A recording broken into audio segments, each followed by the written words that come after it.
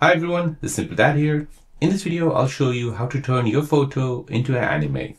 So if you want to turn your photo into anime, then let me show you how to do this. So here we'll be using an app called CapCut. So we can go ahead and open up the App Store or Play Store, search for CapCut and make sure that's been installed to your phone. Once installed, go ahead and open the app. In the app, we'll go ahead and tap on New Project. We'll go ahead and select a photo where we want to turn it into an anime. So for example, this one here, we'll tap Add.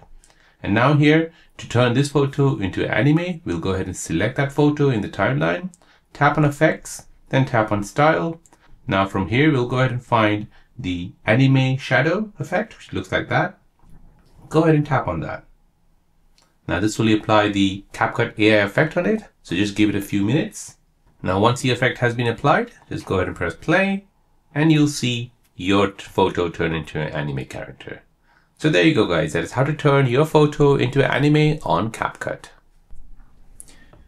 If you're new on the channel and you want to find out more about your iPhone, your Android phone or any other social media apps, then don't forget to subscribe to this channel to become a part of the Simple Dad community. Hit the like button if you find this video useful.